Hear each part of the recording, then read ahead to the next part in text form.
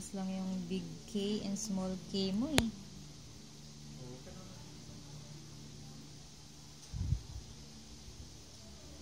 Anong letter yan?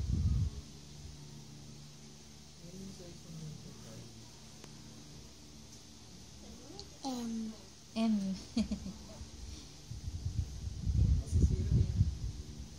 oh, ba't ganyan yung M mo? Naging Small. small N na yan. Ayan, ang letter yan. Ah, N.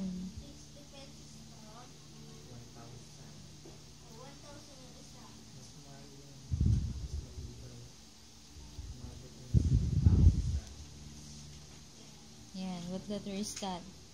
O. Oh. Ayan.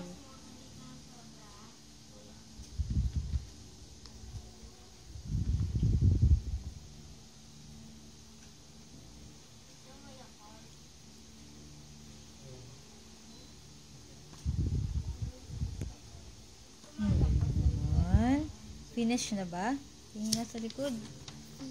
Yehey! Tapos na pala sa likod eh. Very good naman. Pati may shapes. May shapes din. Bye-bye na. Bye-bye.